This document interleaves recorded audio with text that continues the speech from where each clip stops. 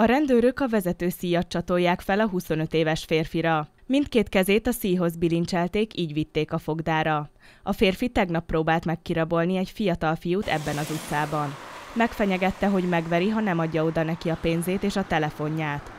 Éppen a fiú zsebében kutatott, amikor az arra járőröző rendőrök ezt észrevették. A rendőrök közelebb mentek hozzájuk, elszámoltatták a 25 éves F. Gábort, aki azt állította az egyenruhásoknak, hogy a bérletét akarta visszavenni a sértettől. A fiatalkorú fiú azonban elmondta, hogy pénzt követel tőle. A férfit bevitték a rendőrségre, de nem tett vallomást. Ennek ellenére őrizetbe vették és kezdeményezték előzetes letartóztatását. Rablás kísérlete miatt indítottak eljárást ellene.